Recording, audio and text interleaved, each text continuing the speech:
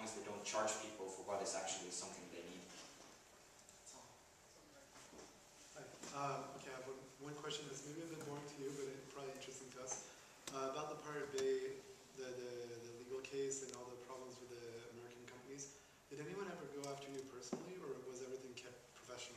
Like, for example, like, do you have a travel ban in the US or something? I don't have a travel ban in the US, but uh, funny story. Uh, Christopher starts laughing, he's heard this before. But uh, we have very good connections with media people, and uh, a journalist was invited to the White House representatives in Sweden, the American uh, embassy in Stockholm. And uh, they essentially wanted to ask him uh, if he knew that we were coming to the US or something like that, and uh, if he could tell us, tell them that we were going there and so forth. Essentially trying to make him tell us that if you go to the US, we will probably sue you, and you're sued, we can probably find a reason to hold you there. Um, so no, we don't go to the US uh, officially, at least. so yeah, but uh, everything has been personal since we never had a company that owned a Pirate Bay. It's never been uh, formal, uh, which has been a big problem for the, the ones investigating the case because there is no single entity you can touch. Everything is based on, like most things on internet, it's based on friendship and it's based on you know trust. So there's no need for a company. It's never been a profit uh, interest in the Bay. It's never made a profit, um, which is good because you know that changes things. And um, a few authors and artists have released their works on the internet for free. For example, Ogindro, uh, Unni Drougge, she released her books on the Pirate Bay, um, I don't know, a few years ago. Do you see that that will help artists, uh, and authors like her to get paid in a, well, an additional revenue stream? Or is it more for like bloggers or um, people like that? I, I think that uh, I really can't answer that, to be honest, because I don't know. Uh, Flattr is still at the, the, the level where it's uh, everything is played with numbers, and we don't know where it's going to end up. The hope is, of course, that people like Unni could make a lot of money from from releasing things for free. Flattr is not going to have a locking feature. We're not going to lock in people that you have to flattr something in order to get something. It's always going to be based on the idea that you got something and you liked it. It's love based. And uh, we hope that in the future you could actually go to a gallery and find a painting you like and flattr it, and they will get some money. And if enough people will actually put money in the system, there will be a revenue stream, which is quite important. Uh, but if it ends up just being for bloggers to actually get paid, that would be fine as well. So we have a hope, and everything is everything is okay, even if it fails miserably and we have no money left, and they take the computers from the office. We're fine with that as well, as long as it's fun.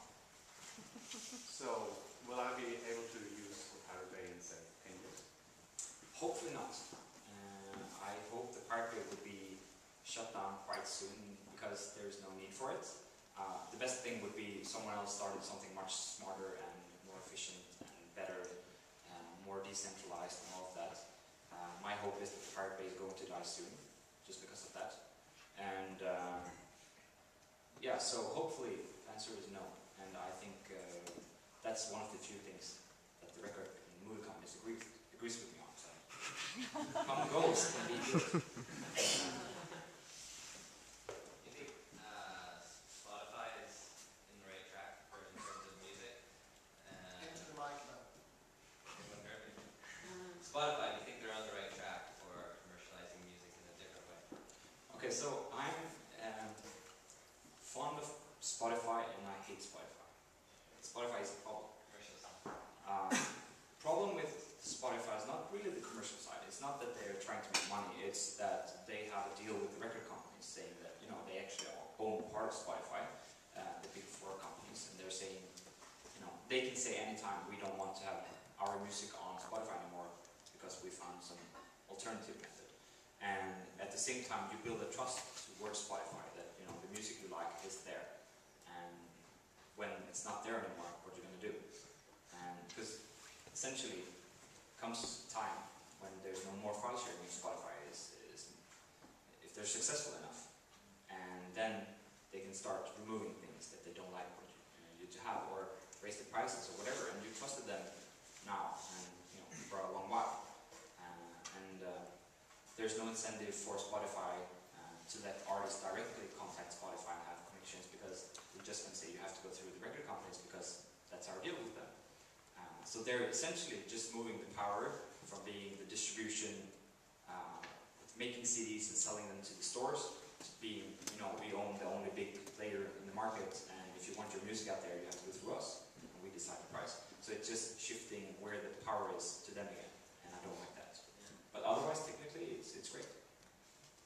So follow up on that, is social payment a solution for the future? Because if we take it to the enterprise once more, if you should not be dependent on these nasty business angels or, or venture capitalists, perhaps you want to, to fund your ideas by social payments. What's your idea, Peter?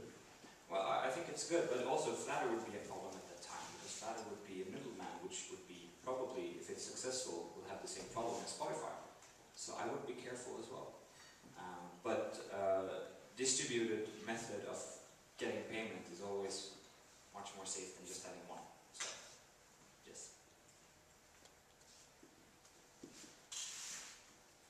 Um, One last question here from, uh, from the book.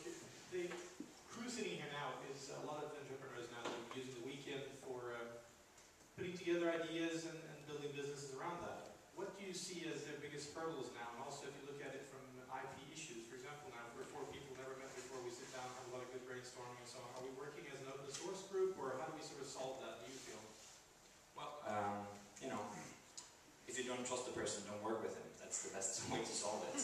Uh, and uh, be prepared to lose faith in mankind and regaining it. Don't overthink the legal issues. Try to do what you're interested in. Find someone else who does the things you're not good at. That would be my suggestion.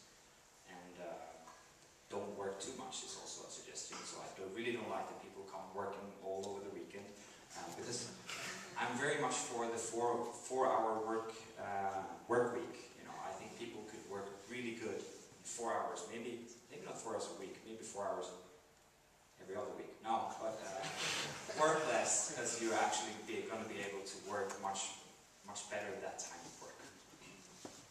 Misinterpreted this. This is 54 hours of fun, not work.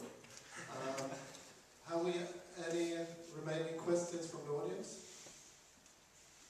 So uh, then I, it's your choice now because at 7 o'clock we will pitch our ideas and uh, after a leg stretch and some fresh air we will tell you about the setup.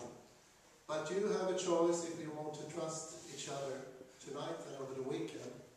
And we encourage that you trust each other and share a lot of ideas because if you're not sharing your ideas, we will not have the dynamics of having a, very good, fun weekend.